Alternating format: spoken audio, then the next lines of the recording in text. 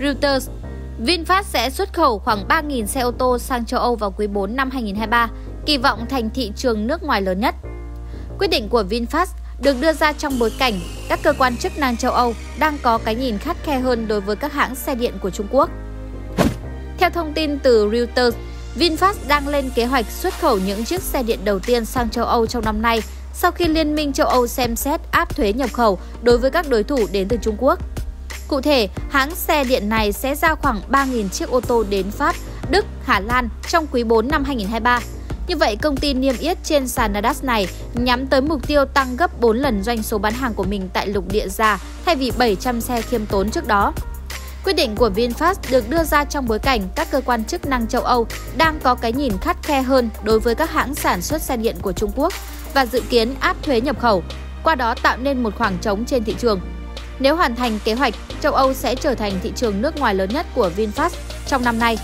Trước đó, doanh nghiệp này đã xuất khẩu khoảng 2.100 xe điện tới Mỹ.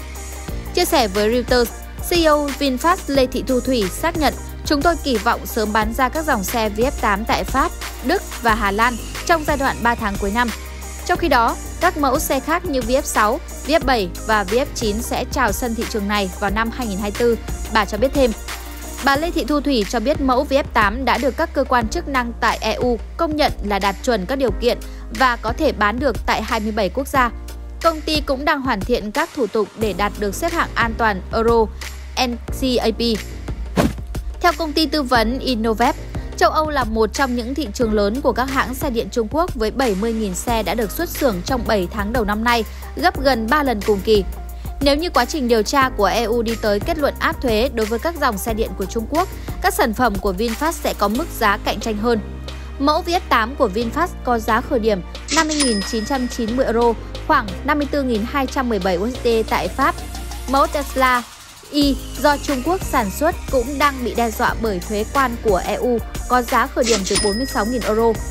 Việc VinFast mở rộng sang châu Âu là một phần trong kế hoạch toàn cầu, bao gồm xây dựng các nhà máy mới ở Mỹ và Indonesia, đồng thời nhắm tới Ấn Độ, Trung Đông, châu Phi và châu Mỹ Latin. Ngay trước khi niêm yết trên sàn Nasdaq vào tháng 8, công ty đã đẩy mạnh việc bán hàng trong quý 2 đã có 11.315 xe điện được VinFast giao cho khách hàng vào cuối tháng 6, phần lớn dành cho thị trường nội địa nhờ kế hoạch bán xe cho các hãng taxi. Doanh thu quý đầu tiên của VinFast giảm 49% so với năm trước và lỗ dòng 598 triệu USD. Từ cà phê F, Độc đáo TV tổng hợp và đưa tin. Sản xuất intro quảng cáo ấn tượng cho công ty, sản phẩm hoặc dịch vụ của bạn chỉ với 1 triệu đồng. Liên hệ Zalo 0964 002 593 hoặc truy cập website quảng cáo itb.com để biết thêm chi tiết.